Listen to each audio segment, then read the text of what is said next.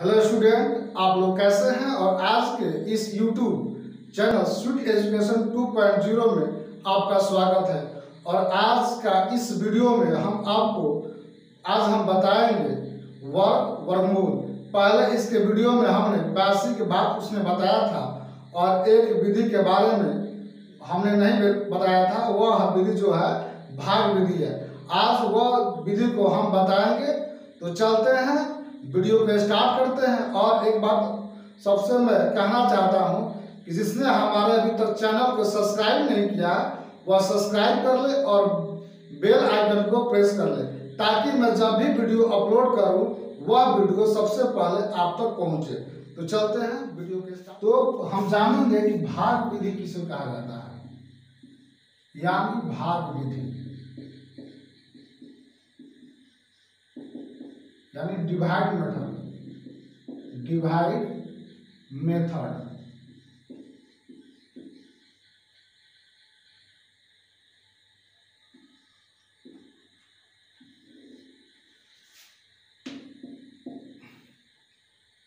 यह विधि किसी भी किसी भी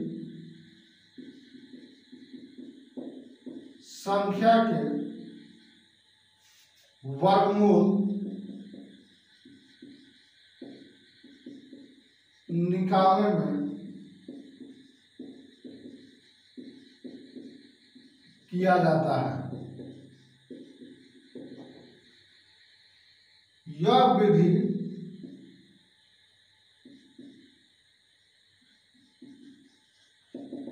यह विधि का प्रयोग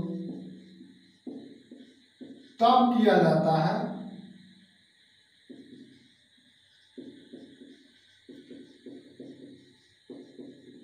जाता है जब दी गई संख्या, दी गई संख्या पूर्ण वर्ग न हो और और उसका गुणनखंड आसानी से न निकल पाए। तब इस विधि का प्रयोग किया जाता है। अगर कोई भी संख्या का जब जब कोई भी संख्या का वह संख्या, यानी जो वह पूर्ण वर्ग संख्या न हो, तब उस संख्या का प्रयोग किया जाता है, यानी इस विधि का प्रयोग किया जाता है। तो चलते हैं। आज हम आपको वर्ग, वर्गमूल पर आधारित क्वेश्चन आज हम आपको कराएँगे, जो हर एग्ज़ाम में पूछे गए हैं, और आने वाले एग्ज़ाम में भी वह कुछ क्वेश्चन जो है, अवश्य ही पूछे जाएँगे। तो चलते हैं, अगला क्वेश्चन देखते हैं, इस पर कौन सा क्वेश्चन जो है।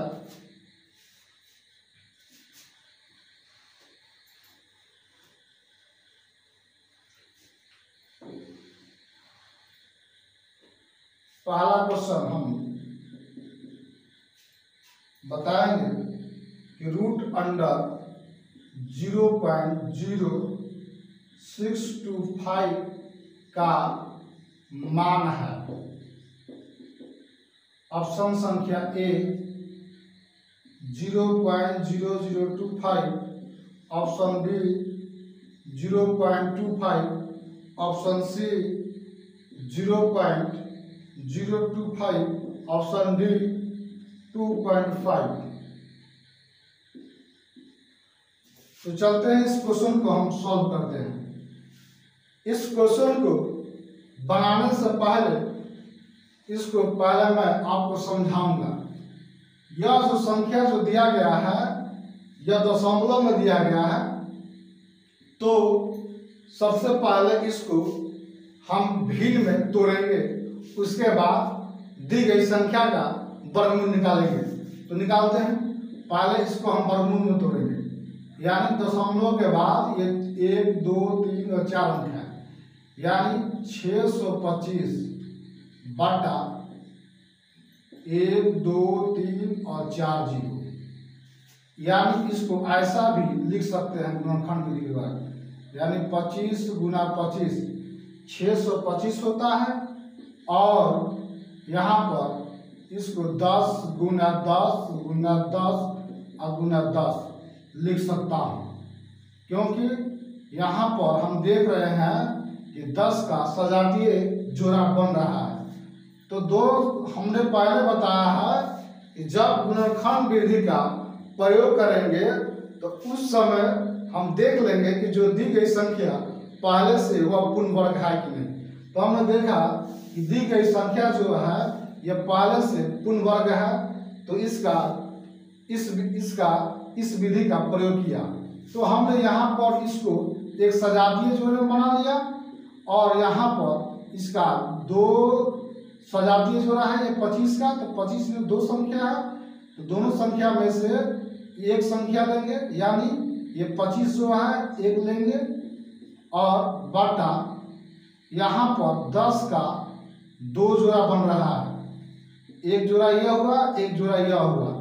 तो दोनों जोड़े में से एक एक दस लेंगे तो दस गुना दस बराबर हो जाएगा पच्चीस बटा दस में दस से गुना करेंगे सौ, यानी आपका पच्चीस में पच्चीस में सौ से डिवाइड करेंगे तो आपका आ जाएगा ज़ीरो पॉइंट टू फाइव यह हुआ आपका राइट आंसर तो ऑप्शन संख्या बी हुआ आपका राइट आंसर वैसा ही अगला क्वेश्चन बनाएँगे देखते हैं अगला क्वेश्चन क्या है।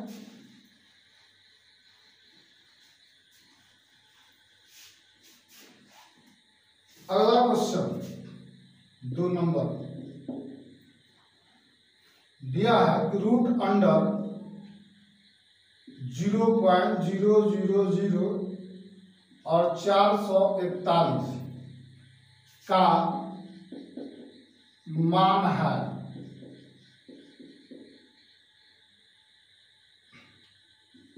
ऑप्शन दे दिया गया है।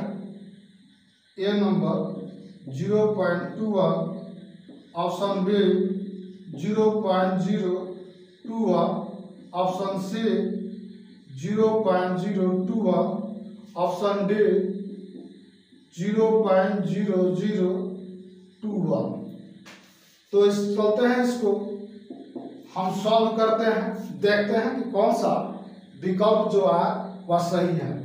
तो इसको पहले हमने बताया कि अभी यह दशमलव में दिया गया है तो या इसको भाग विधि से निकालेंगे, या इसको गुणनखंड विधि से निकालेंगे तो गुणनखंड विधि से निकालते समय इसको हम देख लेंगे कि यह जो दी गई संख्या जो है, यह सं, यह पूर्ण वर्ग है कि नहीं है।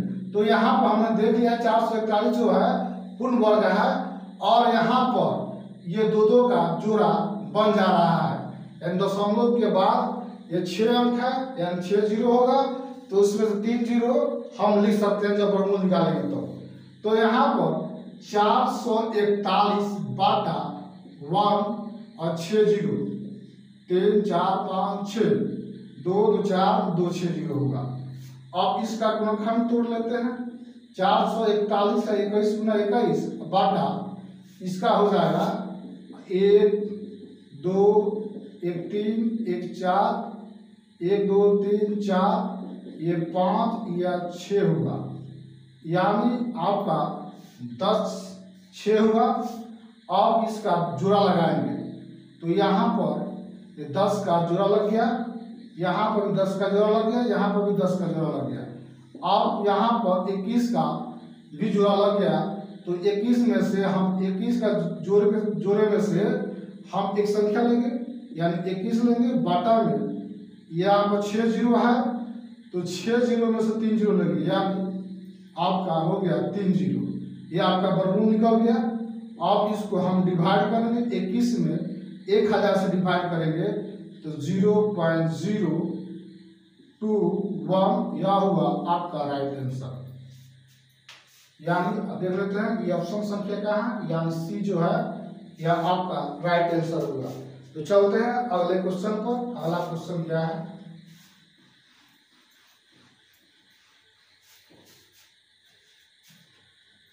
अगला क्वेश्चन जो है तीन नंबर कि ज़ीरो पॉइंट ज़ीरो नाइन का वर्गमूल वर्गमूल क्या है? यानी ऑप्शन ए में दिया गया है कि ज़ीरो पॉइंट तीन option B zero point nine four option C zero point zero three option D zero point three three तो सबसे पहले वही रूल अपनाएँगे जो इसके पहले क्वेश्चन में हमने अपनाया था। तो इसको हम तोड़ते हैं भिन्न में। ये नौ, अब बाटा दशमलव के बाद दो अंक है तो दो ज़ीरो। अब इसका वर्गुण दिखा हुआ है तो ये वर्गुण का चिन्ह लगा देंगे। अब इसका फैक्टर तोड़ लेते हैं। यानी तीन गुना तीन तितरी का नौ होता है, और दस गुना दस। हमने एक सजातीय जोड़ा बना लिया।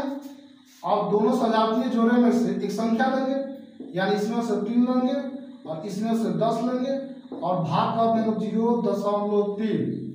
यह हुआ आपका राइट आंसर ऑप्शन संख्या ए अगला क्वेश्चन देखते हैं। अगला क्वेश्चन क्या है?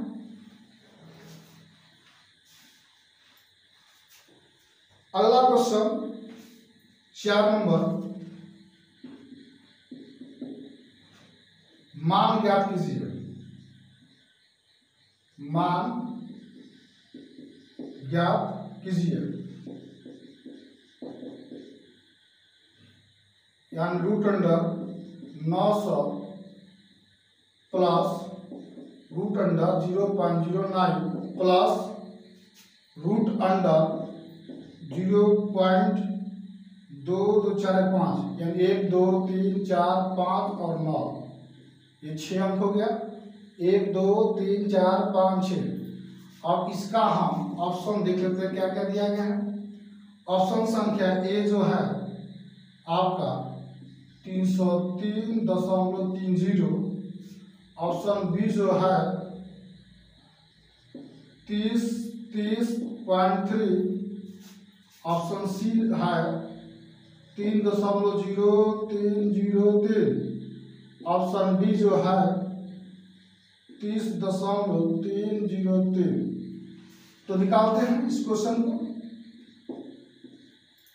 ये 900 का गुणनखंड तोड़ लेते हैं। हम जानते हैं कि 900 का गुणनखंड तीस का स्क्वायर होता है 900 यानी तीस गुना तीस प्लस या इसका हो जाएगा, आप अगर तोड़िएगा तो इसको भोई में तोड़ लीजिएगा। यानी तोड़ लीजिए इसको भी में। यानी नौ बाटा सौ प्लस इसको भी ऐसा नौ बटा छः ज़ीरो। दो, चार, पाँच छ अब इसका वर्गमूल जो हो जाएगा, तीस हो जाएगा, प्लस हो जाएगा। इसका वर्गमूल हो हो जाएगा या नौ का वर्गमूल तीन होता है और तीन, सौ का वर्गमूल दस होता है, यानी भाग देंगे तो ज़ीरो पॉइंट आपका तीन हो जाएगा तो प्लस नौ का वर्गमूल तीन होता है, ये इसका वर्गमूल, यानी नौ का वर्गमूल कितना होता है? तीन होता है. और ये छः ज़ीरो में से तीन ज़ीरो लिखेंगे क्योंकि जो लगाएँगे, दो, चार छः एक एक ज़ीरो लिखेंगे तो तीन ज़ीरो हो जाएगा. यानी इसको हम भाग करेंगे तो हो जाएगा ज़ीरो पॉइंट ज़ीरो ज़ीरो और ये हो जाएगा तीन, यानी ज़ीरो पॉइंट ज़ीरो ज़ीरो तीन। अब इसको हम ऐड करेंगे तो ऐड करेंगे तो हम यहाँ पर ऐड कर देख लीजिए कितना रहा? यानी आप ऐसा अगर जो नहीं आता तो कौन सी तीस ज़ीरो पॉइंट तीन और ज़ीरो पॉइंट ज़ीरो ज़ीरो तीन। जहाँ खाली स्थान बैठ रहा है, वहाँ पर ज़ीरो लगा देंगे। जोड़ लेते हैं ये तीन हो जाएगा, ये ज़ीरो हो जाएगा, ये थ्री हो जाएगा पॉइंट ये हो जाएगा ज़ीरो, ये हो जाएगा थ्री यानी हम इसका आंसर तीस दशमलव तीन ज़ीरो तीन. तो देखते हैं कहाँ है? ये ऑप्शन संख्या कहाँ? ये ऑप्शन संख्या डी में दिया गया है. ऐसा ही क्वेश्चन को अगला भी बनाएँगे. अगला क्वेश्चन क्या दिया गया है? अगला क्वेश्चन देखते हैं। अगला क्वेश्चन यानी पाँच नंबर क्वेश्चन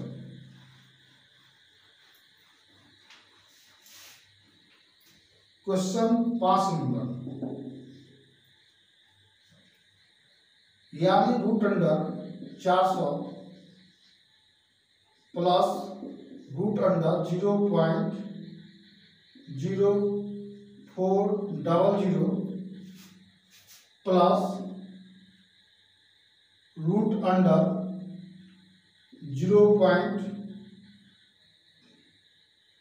एक दो तीन चार, दो चार, एक पाँच, एक छः अंक।